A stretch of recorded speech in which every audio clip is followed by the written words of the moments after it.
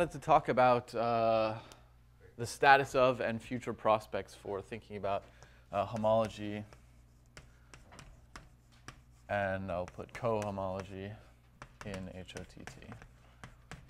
So, um, so uh, based on a couple of theorems we've recently proved, we're getting very close to being able to really talk about these things uh, in, in inside HOTT. So, um, but today, I think what's going to happen today is, uh, is I'll probably give more like an overview of how um, we can think about these things sort of in a homotopy invariant way, what they are, why they're interesting, and things like this. Um, and then, and then I will try to say as I go what kinds of things uh, we are sort of accessible for us at this point. Um, so, um, so that means that I'm going to talk probably more like an algebraic topologist in this talk than a type theorist um, for describing, because I'm going to try to describe what these things are to an algebraic topologist. And, uh, and I'll try to sort of bridge the gap in between um, to, uh, to describe what we can do and what we, where we might go. Um, okay, where should we start? so uh, let's, let's, let, let me start with uh, a certain idea that, that's familiar to algebraic topologists and then, uh, and then develop it a little bit. So, um, so if you give me a map, um, and, and maybe just, just to get used to my notation and how I, how I write these things. Um, I, I, think we saw, there's two things I can do with it. So I'll, I'll put one over here. Actually, maybe I should put one down here. F to Y, right? Um, well, um, on the one hand, uh, you could uh, you can you can map x to a point right here, and you can take the homotopy push out of this, which is which is something we do in Coq. Um, uh, something we can define, it would be a higher inductive type. Actually, maybe I should start with this version over here, because this one is more more easy. Um, I can map a point. Uh, so, oh, by the way, um, everything everything in this talk uh, is going to be based. Um, so I'm going to always work with based types. And um, uh, sorry, uh, meaning meaning uh, meaning a type, yeah, pointed together together with a chosen point. Okay, so we're, we're sort of working in the category of pointed types. Um, so uh, uh, and that's just going to be a convenience. It, certain things are annoying. I think in Coq it's not so bad maybe to work with pointed types, and Agda it's a bit of a pain. But in any case, it's it's more of an inconvenience. Um, it's a little more inconvenient in type theory, but for what I'm going to do today, it's, it's extremely convenient to just always work with pointed types. Okay. Um, so uh, there's, there's a couple things I can do. So you give me a map f, and y is pointed, so I can map a point in at the base point. And I can take the homotopy limit of this diagram, as Jeremy was talking about the other day. Um, and what I get is, is called the, the fiber of f, the homotopy fiber of f. I'm going to write it as a capital F of f. Um, and now, uh, right. Uh, and now, but I can continue like this because, uh, because x was pointed, so I can map x in right here. And uh, if I take this pullback now, I'll, and let me call this map uh, P, um, then it's, it by definition is the fiber of P. So that's the fiber of P right there. Um, and, uh, but on the other hand, um, if I look at, and, and gets a map like this, but now both of these squares were pullbacks, and if I look at the outside one, did I do this wrong? Nope, that's OK. Um, it tells me that, that this is loops on y. OK? I can do it smaller. Is that OK? it is loops on y. Is that OK? Um, OK. Um, let's see. But now, but now uh, this thing is this thing obtains a, a, natural canonical base point, right? So I, I can map a point in there. Uh, and what, what is this map right here? So let's call this map uh, Q. Uh, and then I can take the fiber, and I will get uh, and I will get the fiber of Q. Right? But now I stare at this diagram and I say it was uh, both of these are pullbacks, which means that this thing that the outer square is a pullback too. So this must be equivalent to loops on X. Okay? So, uh, so this is this cute trick, and and uh, and if you if you follow this path like this, you can go forever, and you will just keep getting loops and loops and loops. And this is what people call um, the fiber sequence um, for the map F. So, uh, and it looks like this, the fiber of F. And then we get uh, loops on y, and then we get loops on x, and then we get loops on the fiber of f, and then we get double loops on uh, y, and this just keeps going forever. So given any map, I can just generate a sequence like this, right? I want to I want to uh, uh, illustrate how people use these sequences in algebraic topology. So, but dually, I, can do the exact same thing over here, um, uh, where I just work on the dual side. So now I map x to a point, and I take the push out, and uh, I'm going to call that c sub f, and call this i. And this is the uh, the mapping cone on f.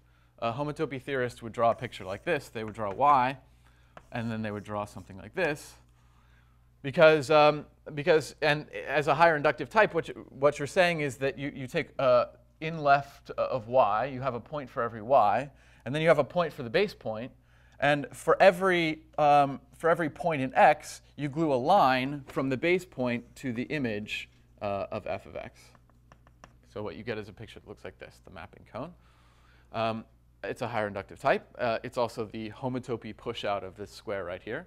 Um, so, so I don't know if you can sort of see this, but, uh, but right. I mean, uh, so it, it's nice to get used to these homotopy pushouts. Like if, if I draw that pushout diagram right there, or something like this, then you can see what I have is you can view the homotopy pushout as kind of like a here's y, here's x, and here's a point. It's sort of like a fibration over this over this pushout diagram right here, where I consider it as an interval. y lives over this point. Over the point in the middle, I see x, which is the thing in that circle right there, and over this point, I see a point. And so I sort of glued everything together, okay? Um, but, uh, but now I can continue. Let's see, so which way? You didn't really say it's like fibration, did I did say it's like a fibration, and it is a fibration, right? Um, so, so if you have a diagram uh, of spaces over a category, and you, you map this to type, right? Then it's useful to think of the homotopy colimit of this. It, it will have a map to the nerve of C, and that map is sort of essentially a fibration modulo some, some details. Okay. As a higher inductive type, we could force this one to be a fibration. Yeah. Which would be equivalent to topologically taking the fiber replacement. Of the nerve, right? Exactly. Exactly. Wait, wait, wait, wait. But, but the fiber, Uh. what is the base of this fibration? In, in the example of, of homotopy push. It, it's just an interval. So But, but, but the fiber over one point of the interval is Ah. y, and the fiber over another is Okay. point, which is not. you're right. You're right. You're right. So it's not. It's not. It's not a fibration in the topological sense. It's a. It's a fibration in the higher categorical sense, right? It's a family. It's a family, sure. Okay, let's let's let's not belabor this point. Okay, I just wanted to I just wanted to draw a picture of how I think I of mean, the the homotopy fibration colimit. fundamentally shouldn't change homotopy type. Yes, So over an you're right. You're right. You're right. Um, I think yeah. Okay. Um, it's a family. Let's let's just stick with that. Okay. Um, uh, but the point, yeah. So so I can do the same thing over here. Now, so which way do I want to map a point uh, in? Oh, I want to map y to a point, right? And so this will give me the the cofiber of i right here. Um, and then uh, and then and I keep going. So I map CF to a point. So I'm just doing the dual picture over here, and um, oops. Oh, yeah, right. But over here, now the exact same lemma applies to say that this this is a push out and this is a push out. So the outside is a push out, which means this thing is equivalent to the suspension of x. Okay, because if I take x and I push it out along two points, then that's that's this picture. Sorry, I'm going to keep drawing it, even though it's not a fibration. That's x here, a point here, a point here, and a line glued in for every thing in the middle. Okay, that's what that homotopy push out would be right there. Suspension of Suspension of x. x. And f doesn't play a role in what you obtain. Um, F does play a role. It played a role in this space right here. It, it told me how to glue the cone on X into Y. But, but, but not in the, in the not, not in the next term. Yeah, Right. The next term somehow f is lost. right. Yeah, yeah, just like over there, right? Because you can imagine it, it, the next term is like when I when I take uh, uh, intuitively, it's like smashing Y to a point. So if I all the information about F was in how I glued X to Y, but then if I smash Y to a point, that information is gone, and all I see is like X that's left. Uh, yeah. uh, right. So so so.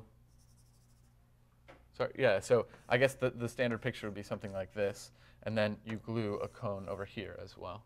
So now this piece is contractible as well. And so when you contract it down, what you're left with is this thing with x in the middle, which is sort of right here. When you contract that side down, you get something like that. Okay? Um, and then, uh, and then right, so then I, I want to do this again, right? So, so then I map this to a point, and then, uh, and then I, I see here, this will be, I'll call this J. This is the cofiber on J, um, except for, again, the same argument, this is the suspension of Y by looking at the outside square, okay? So the dual thing is that given a map, x from f to y, I can generate this sequence as well.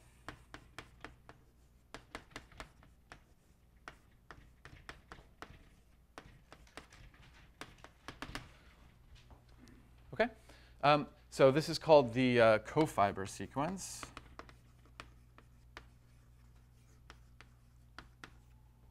And this is called the fiber sequence.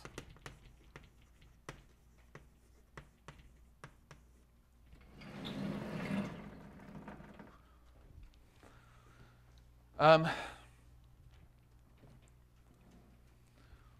uh, why uh, do people use these things? Okay, let's see. So now let's suppose uh, space uh, Z. So by space, I mean type, pointed type, whatever, working in the pointed category. Um, so so why, do, why do people use these? Um, because uh, if I map Z into this sequence right here, something interesting happens, right? So um, uh, if I take, if I can look at the following sequence, I can take, um, I'm going to look at the fiber sequence first. I can take maps into, uh, let's see if I'm going to do this the right way. Let's see if I get it right, into Z, right? And then I can take a map from X into Z. And these are, these are pointed maps, so maps which preserve the base point up to propositional equality. Map from the fiber of f into z. Um, I want, I want the other way. Sorry. I knew I was going to get it wrong. It's one or the other, right? Um, I want to map into this thing, right? Okay, so I want to map, let's try it again. Map z into, uh, into y, and then map, yeah, sorry, that was what I wanted. I want to map into the fiber sequence. Um, so map z into y, z into x, map uh, z into uh, the fiber of f. Okay, I need to be more careful and give myself room. z into loops on y, et cetera, et cetera. I get a sequence like this, okay? Now, um, but now what I want to do is I'm going to give an argument. So uh, what I can do is now I want to truncate these maps. So in other words, I want to just look at the, the connected components of these maps.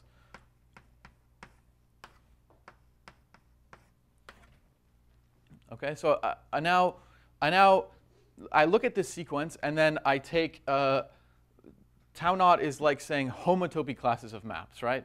Two maps from z to y are homotopic to each other if and only if they're sort of in the same component in this mapping space. So if I look at the set of connected components, I'm looking at the set of homotopy classes of maps, right? So I truncate down to a zero set. And what's the point of this? Um, so each of these has a, a, a particular base point. And uh, this sequence is exact uh, in the following sense. So let's just look at, so suppose I have, suppose I have f um, in, in this term right here. So it's a map from z to x. I don't have f. Suppose I have phi. That's an ugly phi. Phi. Um, right here. Okay, so each of these, remember, each of these spaces has a canonical base point, the map that sends z all to the base point of y, the map that sends z all to the base point of x. Now, suppose um, that, uh, that, that under this map, phi goes to the base point. Okay, so I should call this map f lower star. So f lower star of, of phi is the base point. I'll just write it as star. Sorry. Uh, then I claim there exists a unique map here, psi, uh, such that um, that, what did I call that map? P? P lower star of, of psi is phi. Not What? unique, not unique. Not unique. Not unique, okay? Um, and what this says is, so I can define, the, since these are pointed, I can define the, the kernel of this map makes sense. It's all the maps here which are taken to, to the base point. And, uh, and so what I'm saying here is that this map here is onto the kernel, right? So the image of this map is exactly the kernel of this map right here, okay? And does that make sense? So, so that's, that's the definition of exact. So exact is kernel of um, f lower star is the image of uh, p lower star, where I replace f and p by whatever the appropriate map is right there. Okay, so that's what it means to be exact at this spot.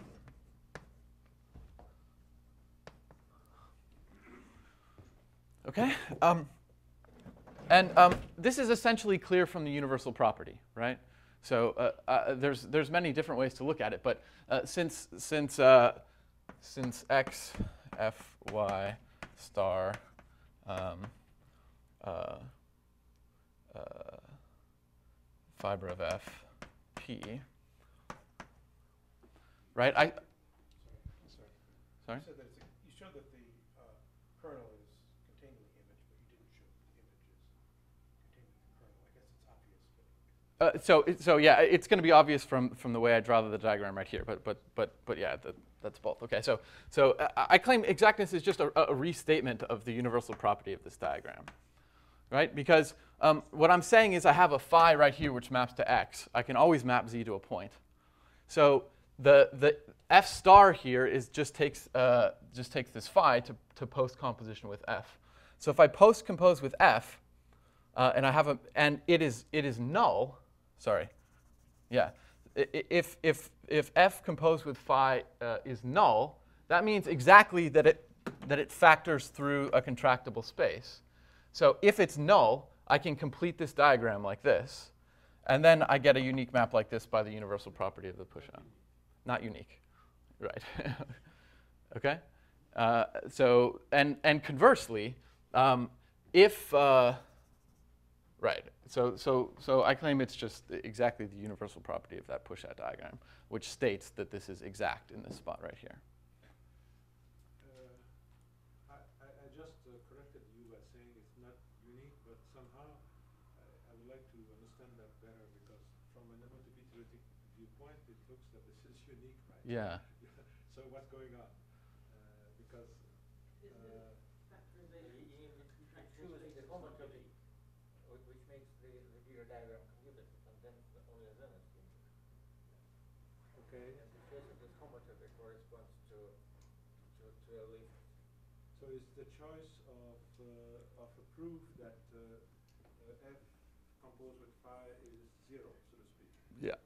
And Yeah. From that you can lift, but there are many proof of that. and Right. Is that is this what? Yeah. Okay.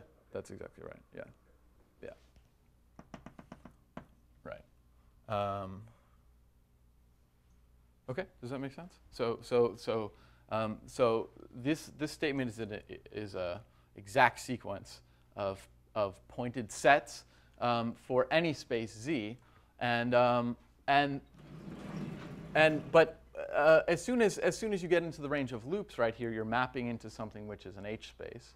So so um, so this thing, as soon as you get to this point right here, maps from z into loops of y has a has a multiplication on it, just by multiplying pointwise the loops. And as soon as you get to here, that that multiplication is is abelian.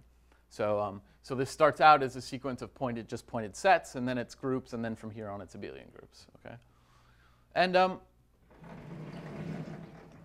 Okay, so, uh, so let's go over here.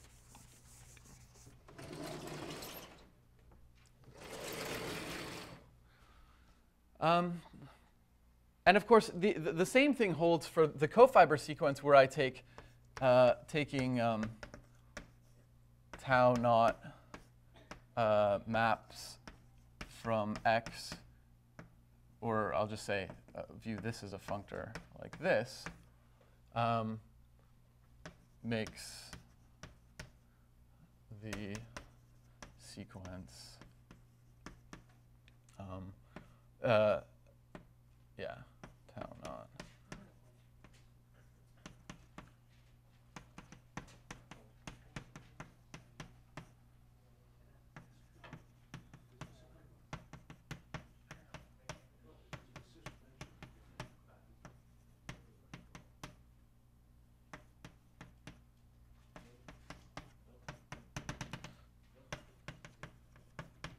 Makes this sequence exact. Okay, so um, so if I map, so what I'm saying is if I if I truncate and map um, out of a space into a fiber sequence, I get an exact sequence.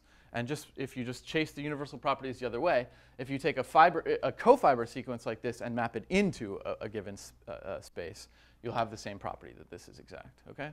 Um, and, um, and this is an extremely useful sort of calculational tool um, because, for example, if you, choose, uh, if you choose the space over here to map into to be S naught, um, then, then this will recover for you the long exact sequence in homotopy groups. Okay, um, th- that's, this just reads um, pi naught of y. So homotopy classes of maps from S naught into a space are just connected components of that space base maps, of course. Yeah, everything's base today. uh, then you'll get pi naught of x, and then you'll get pi naught of the fiber, and then you'll get pi, uh, well, so, and again, uh, yeah, another thing that I'm going to use implicitly, you'll get uh, the truncation of maps from S naught into loops on Y, and I'm going to sort of use this equivalence that in the base category, maps from a suspension are equivalent to maps uh, loops. So in the base category, suspending something and looping it are adjoint to each other. So at this next step, I have, I have S naught into Y, so it's into a loop. So I move it over the other side, and I get the suspension of S naught. So I have S1 into Y. Well, that's just pi 1 of Y. And then I just keep playing the same game. Pi 1 of X. I get something like this. So a particular case of this says that the homotopy groups uh, in a fibration sequence are exact. This is an exact sequence of groups, okay? And that's an extremely powerful calculational tool. Okay. So, well, sometimes. I, I mean, this turns out to be sort of not that powerful a calculational tool when, you, when it comes to calculating homotopy groups, right? And, and that's, that's sort of what I want to explain next.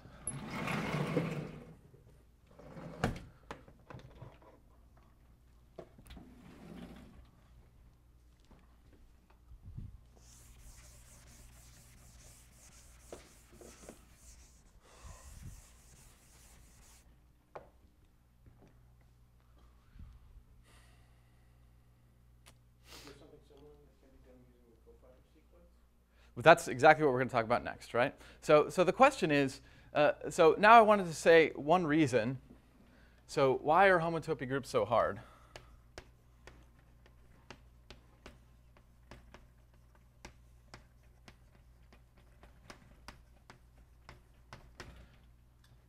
Uh, or maybe here's one reason why they're hard, right? Um, is that, uh, well, they, they play nicely with fibration sequences. That's great. Except for, for, at least from a topologist point of view, most spaces don't come to us presented as fiber sequences. They come to us presented as cofiber sequences. Um, so typically, uh, uh, a, C- uh, a topologist thinks of all these spaces being CW complexes. And then, um, and then a CW complex is something like uh, has a bunch of skeleton. And uh, if I map a circle into a skeleton and take along F and take the cofiber here, take a point, um, um, then, uh, then this thing is what people sometimes write xn union along F of an n sphere. In other words, if, if I have a CW complex, it's built inductively by taking cofibers of maps from spheres. This is what we mean by gluing on cells. And very often, many spaces that you're prevent, presented with in topology, you know how to describe the space as built from attaching maps of spheres. In other words, you can present its various skeleta as, as, as maps in this cofiber sequence right here, right? So you know how to, how to, how to glue on spheres, how to build the space you're interested in. But if you want to calculate its homotopy groups, that's not great because the homotopy groups work over there, okay? Um, but, so what can we say?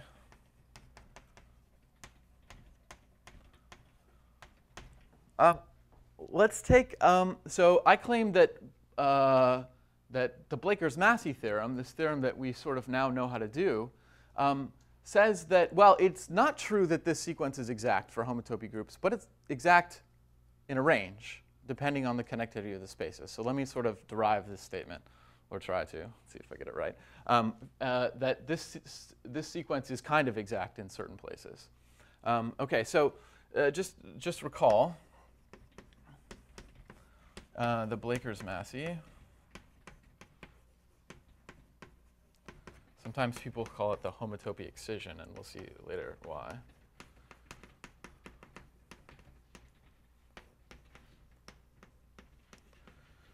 Um, it, says, it says the following. It, it says that if you have a pushout, a homotopy pushout square,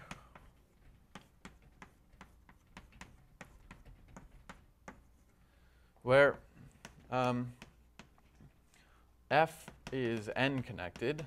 Okay, so now we're going to run into this problem. Uh, G is m connected. Then the map um, A, so this is a push-out square, but I can take the pullback of C and B along D. And so I get C cross over D with B is, and now here it depends what convention we take, but, but I, am just going to pick the convention that makes this easiest because it's going to make this easiest for all of us. Okay, so based on this theorem, I will tell you what I mean by n connected. So, uh, uh, uh, so this is, this is going to be the, the HOTT version of, of n connected, meaning that a map is n connected if and only if all of its fibers are n, n connected. Okay. Um, so, so this is Peter talked a little bit about this slight ambiguity, but um, it's going to be just easiest if we if we think of this. Okay. Um, uh, so I'm going to state it in this form, and this is this unfortunately disagrees with topological literature, and and top, but it'll be easiest for us. So we, or at least for me, because I won't have to keep track of these indices so badly. And in some sense, it seems like it's kind of the right definition, doesn't it? Okay. Okay. Um, so let's see what we can learn if we apply this to a cofiber square. So let's, uh, let's take a, a of, let's generate our cofiber sequence and see what we can learn. So let's suppose x is n connected, which with this convention, that's the same thing as saying the map to a point is n connected. Um, and uh, f is m connected. Um, so what, what do we learn? So, well, here's, here's I. So we learn a couple of things. Um,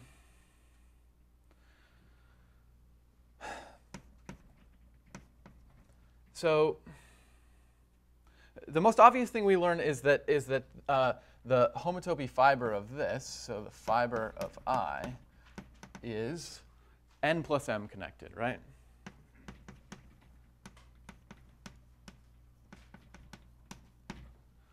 Meaning the fiber, the, the homotopy groups of the fiber agree with the homotopy groups of x in up to n plus m. Okay, that's one way to say it. N is surjective and n plus 1, but that's not going to matter. In particular, since x is n connected, that means at least the first n homotopy groups of this fiber are 0. But if that's true, but if that's true, uh,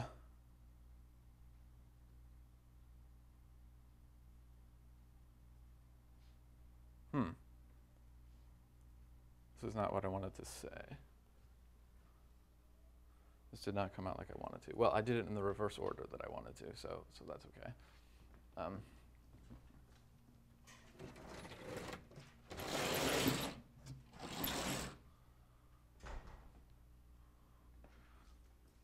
that's not so interesting, is it? Let's, let's view this another way. So um, so I want to give you a, a, different presentation of this map right here. So on the one hand, I can take this pullback right here. So this would be um, the fiber of I. And, um, and the, uh, the, the, the Blakers-Massey says something about the vanishing of the homotopy groups of the fiber of this map. Um, a- another way, but th- this map, uh, its fiber can also be obtained a different way. Um, I can also take the fiber of this map and the fiber of this map. So let me call that f sub f. And uh, the fiber of this map right here uh, is just loops on c sub f. So, uh, so here I just, I just, for any map, you can generate the fiber sequence. So I just generated the fiber sequence this way.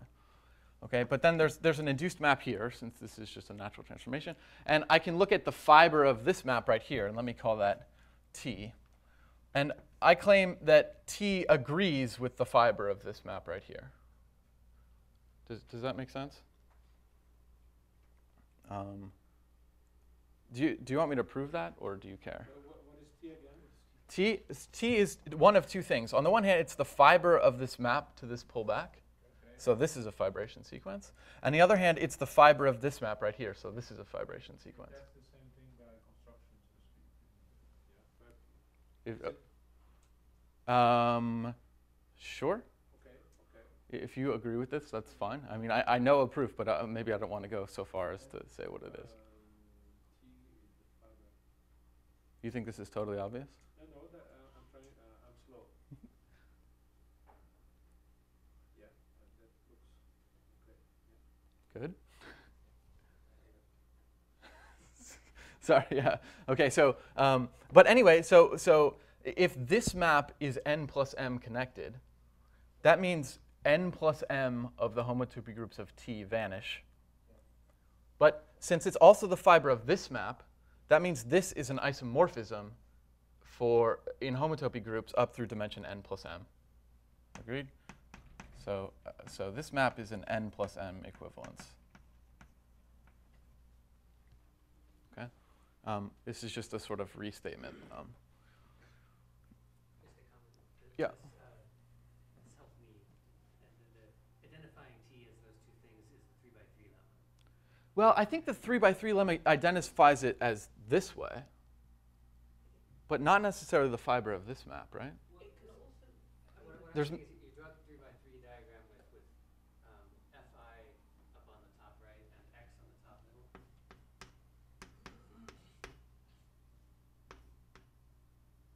Yeah, and then not X, not yet. Yeah. Okay. Yeah. So there's many ways, many ways to see this, right? Exactly. You can also get the two pullbacks diagram with if the maps F and then I both go vertically down the right hand side.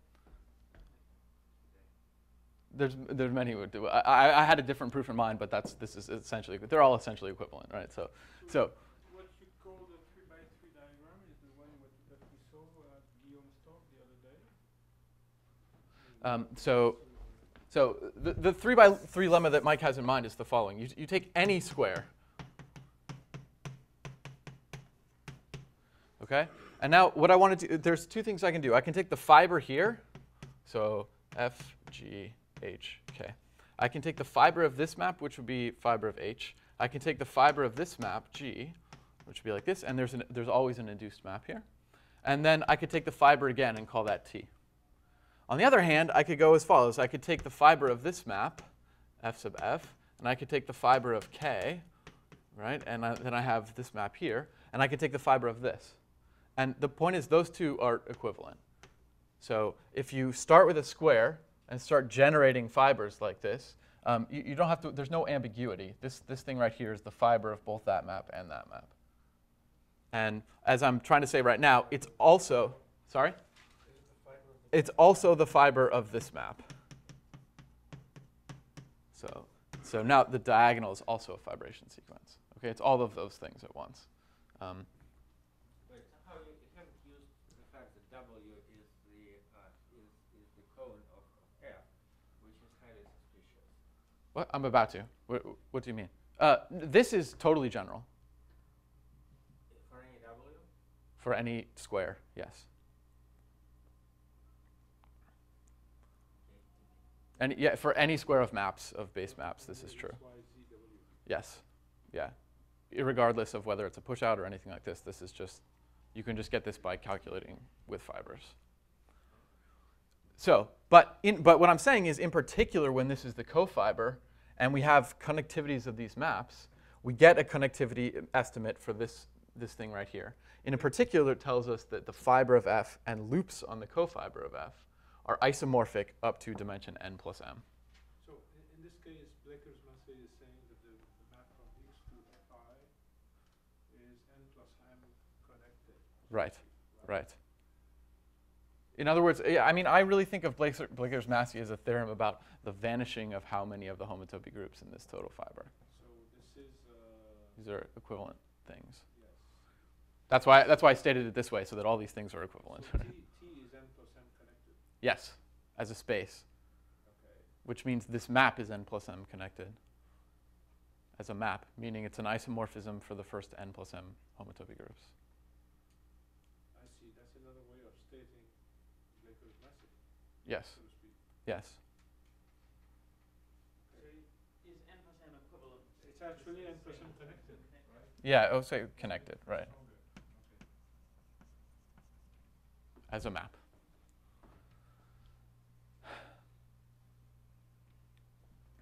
Um, let's go over here. Um,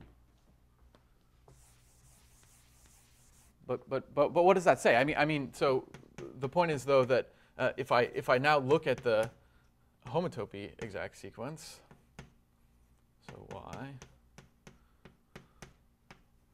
Uh, um, so let me just start generating it this way. X. The fiber of F. Um, this is pi q plus 1 of y. Um, so we're looking, this will be pi q minus 1 of the fiber of F. Um, the, the point is that in the range up to n plus m, we've just found out that, that this is equivalent to the loops on this, which means that, um, that I can replace this with pi q of loops on the cofiber. And I can replace this with pi q minus 1 of loops on the cofiber because we just decided those were isomorphic in this range. So, so q less than or equal to n plus m. Um, but if I just put a loops here, that, that just does this. When I loop the cofiber, I just, I just uh, bring its homotopy groups down by one. So, and, and you can see what. You doing here erasing? Sorry, I'm really bad at that. um, so, so this gives me pi q of loops on the cofiber, which is pi q plus 1 of the cofiber. And then here, um, I get pi q minus 1 loops cofiber. And then that's pi q um, cofiber. Okay? So, so with these replacements, you can see that what I have is just a range of dimensions where this uh, cofiber sequence, in fact, is exact in homotopy by just reindexing things. If you stare at, if I just applied pi to the sequence right here, pi n, um, I, I, I will see this picture. Okay? So Blakers-Massey, um, in some sense, tells you just, just this formulation, the way I've said it, is that um, this sequence is always exact. Um, based on the connectivity of F and the connectivity of the initial space, this sequence is sometimes exact. It's exact up through dimension n plus m. Okay, does that make sense? Peter's not happy. Um, slightly reason the, the sequence that you got to be exact was the homotopy fiber sequence, but you were able to replace the homotopy groups of the Right, fiber with homotopy groups of the cofiber. right. But isn't that still then going in the opposite direction from the actual co original cofiber sequence? Oh, no, sorry. No, no, no. Yeah, yeah, on that. Great. So, but I'm not sure, I mean, the, the sigmas on, uh, on, on, uh, under the homotopy groups don't show up, right? Uh, that's, that's, that's true, yeah. So it's not like applying phi zero to this, I mean, which wouldn't make any sense anyway. Yeah,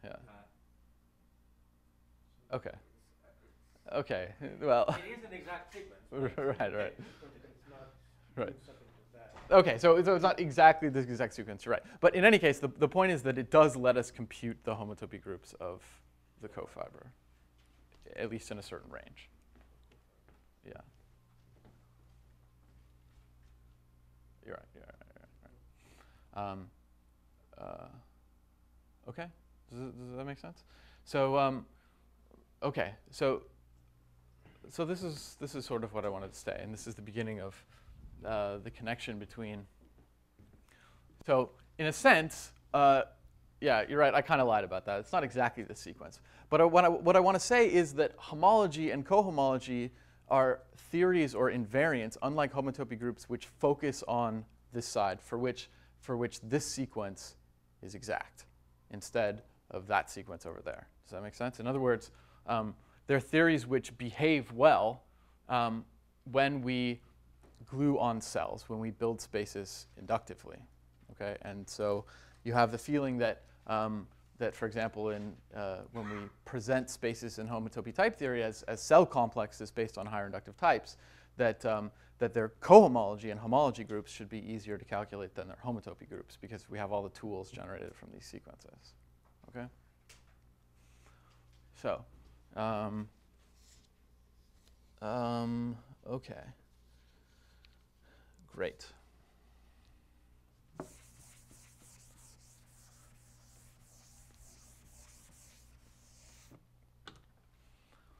Um,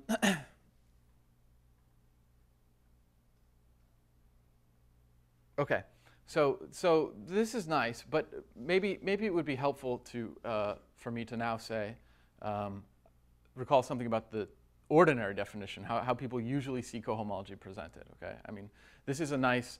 Uh, I mean the reason I I write things this way is because you can see everything I've done here is kind of in a sense internal to an infinity topos. I'm just talking about limits and co-limits and exact sequences and truncations. So most of the statements I've made here, I think we can are essentially accessible to what we can do right now with a little bit of work. Um, writing out this cofiber sequence is going to be hard because of higher inductive types, but uh, possibly manageable. Okay, but, um, but of course, no topologist, uh, this is kind of a sophisticated look at what, uh, at what cohomology theories or homology theories might look like, um, invariants that respect cofibration sequences. But that's not actually the way most people uh, originally have them presented. So let me do a, a small just uh, example of what, or, what, how people usually see ordinary homology. And then I think you'll see that it is definitely more computable than, than homotopy uh, than homotopy groups, right? Um, do, do have a lot of people seen ordinary homology? Um, I don't know if this is this is like uh, for people who I don't know if this is a waste of time. If, if everyone here has seen like how I could don't mind if you recall. okay. Everybody who's seen it likes to see it again. Ah, okay, great. okay, so let's let's let's recall the setup. Um, right. So um, so let's work. I'm just going to do the most simple, naive version, and then I'm going to skip all the hard theorems in the middle, obviously, because I only have an hour and a half that say that this agrees with with something else. Um, so uh, so let's start with um, let's start with a semi-simplicial set.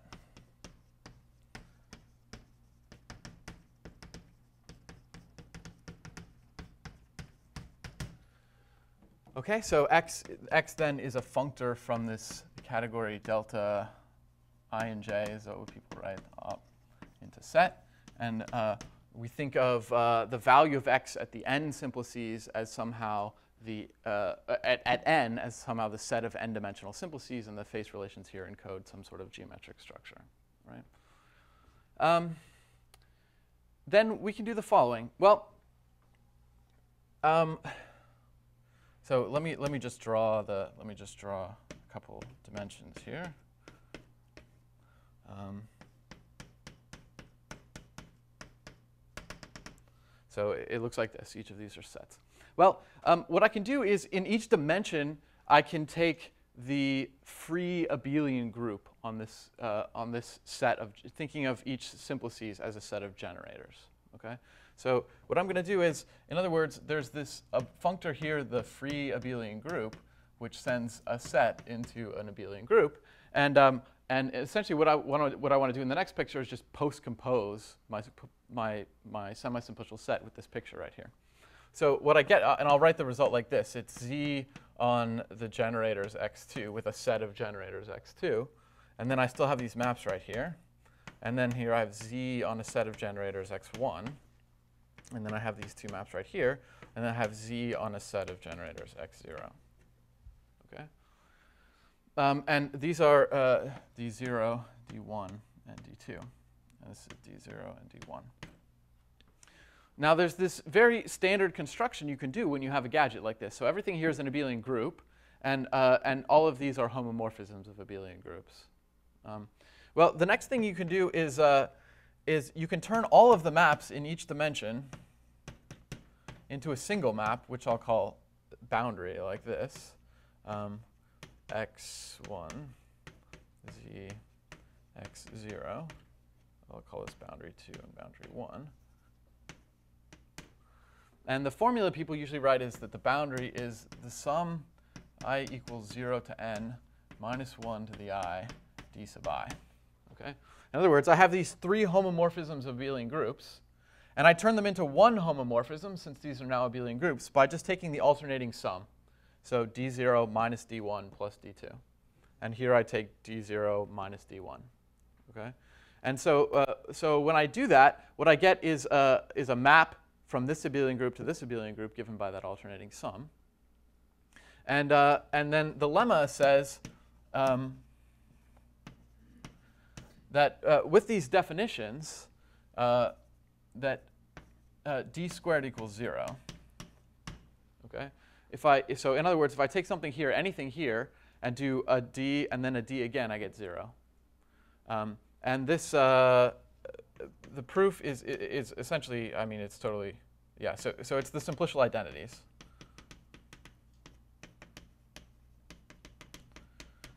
So they, they just guarantee this. Um, you, you, uh, you, look at, you look at the identities that you have uh, after composing two of these maps, and then you sort of separate into two things. Anyway, it, it's a very, it's fun, cute, so you should try it for yourself. But whenever you have a simplicial thing and you perform this construction, you get a, a case where, so in other words, people have a name for something like that. That's called a chain complex. Okay? And a chain complex is a sequence of abelian groups and a map between each one such that their composite is zero, which is exactly what we have right here. Okay, we, we just started with a, with a semi-simplicial set, and then we constructed this, and then we can, now, it didn't have to be semi-simplicial, it could have just been simplicial, but you'll see why I chose semi-simplicial in just a second, okay? Um, and so what does d squared equals zero mean? Uh, it means that the image of d i is contained in the kernel of di minus 1, right? So this is just a restatement of this fact, this fact right here. So, so definition, um, hn of x uh, with coefficients in z is uh, the kernel of dn uh, modulo the image of dn plus 1. Okay? Does this make sense? So, so, so if I stare at anything right here, this composite is 0, which means that the image of d2 is in the kernel of this map. So, um, uh, so that means that uh, that means that the, since the image is inside and they're abelian groups, I can just form this quotient group right here, and that's by definition the nth homology of my space X. Okay? So, um, is okay? There is another definition. There are many definitions, yeah. Well, yeah, that's absolutely fine. Um, But, but uh, there are many definitions, but, but one which is probably the, the shortest modulo, the things which people around here already know, would be to take this z functor, so to take the free abelian group generated by the semi-simplicial set, and then take the homotopy groups of this free simplicial group. O- o- of Yes. Then forget that it's an abelian, a simplicial abelian group. Consider it as a semi-simplicial set, and take its homotopy group. So on the level of types, one should take a type, somehow make a free abelian group out of a type, and then take homotopy groups of that free abelian group um, generated by the type. But, but how, how to make free abelian group generated by a type, it, it must be one of the cases of higher inductive definition, right. because it's just a free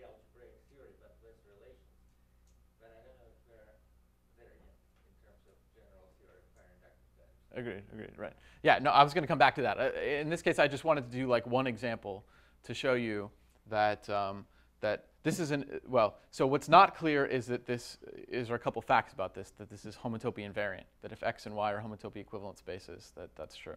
Um, moreover, um, uh, so facts, and then I'm going to do I'm going to do one example so you can see that these groups, unlike homotopy groups, are in a sense combinatorial. You can you can just write them down from, um, or maybe that's not worthwhile. But um, so Hn is well I wrote it with z coefficients so is um, homotopy invariant.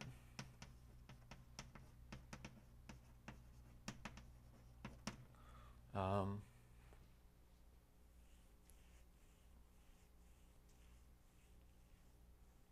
uh, meaning that if you have, uh, so, well, so Hn is a functor. Um, this is essentially clear because it's, it's functor, this, uh, this construction is functorial and you just need to check um, that if you have a map, um, that it induces, uh, it induces a map on cohomology. This is just easy to chase through. So this is functorial.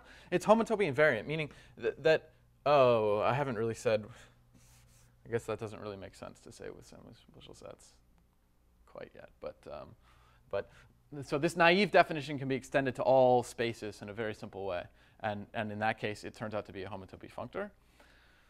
And um, uh, and I claim that it takes cofiber sequences to exact sequences, but I'm going to have to uh, spell out exactly what I mean by that a, a little more. Um,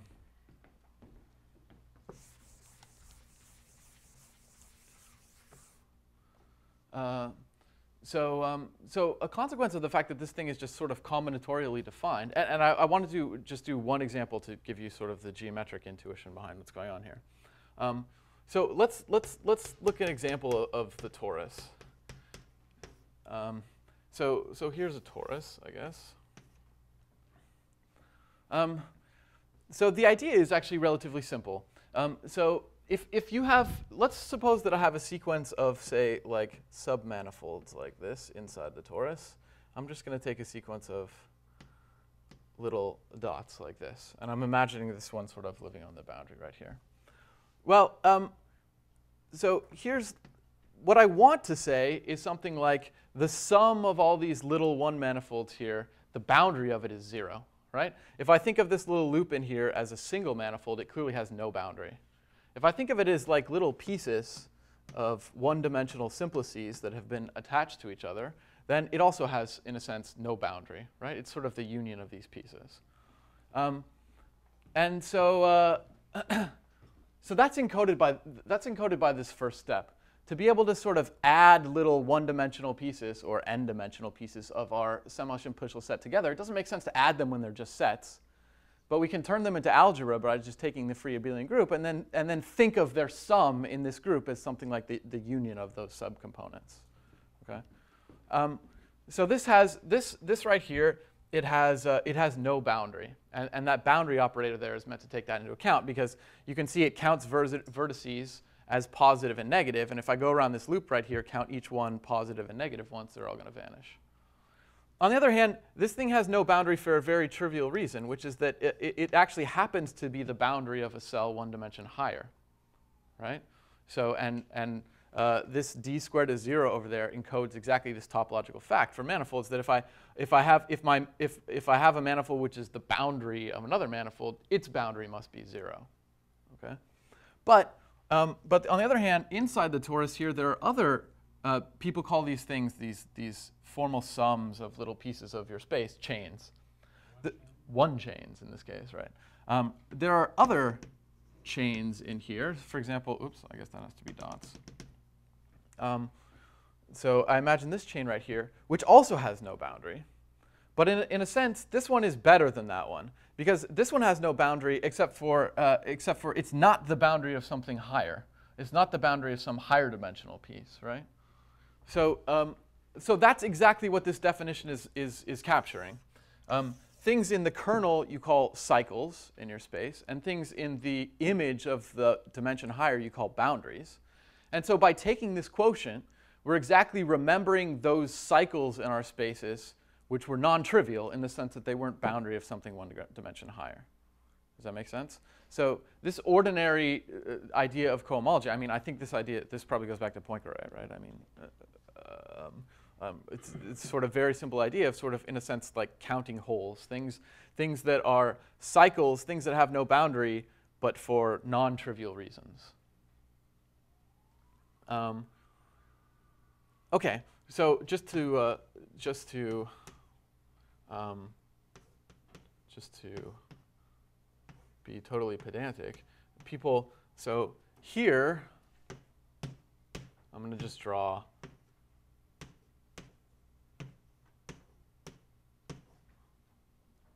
I've just drawn a little semi, semi-simplicial set.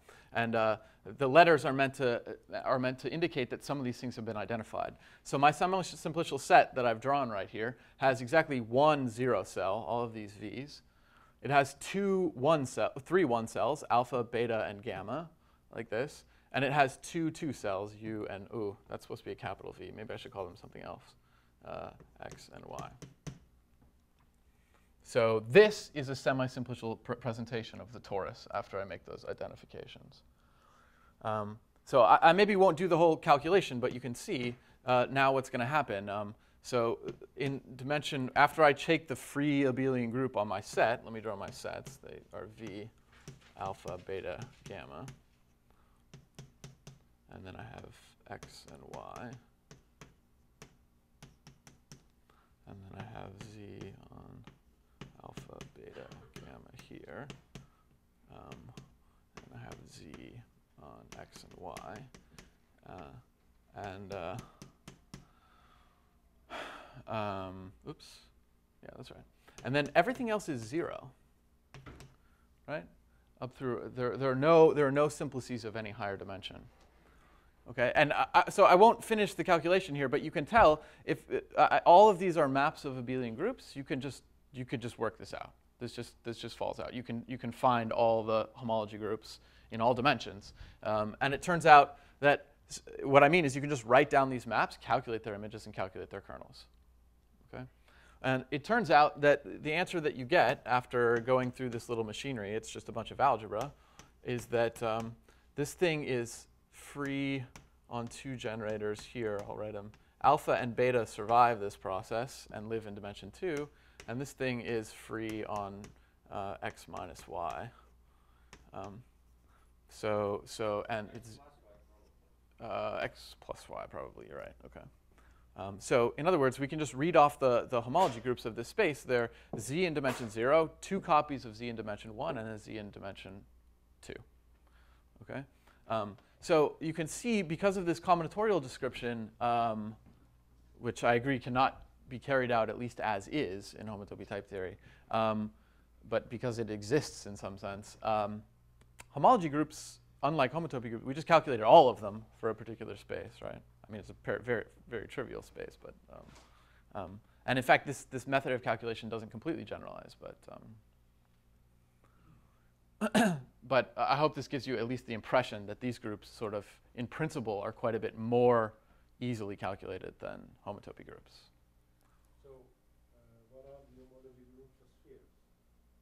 Ah, okay.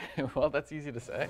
Um, I was maybe going to drive that later. So, in particular, uh, both. I mean, they're sort of. Okay. Um, so it's uh, it's z. So I should say hksn uh, if k equals n, and it's zero otherwise. Uh, Yeah, yeah, yeah. I'm looking for an eraser. Ah.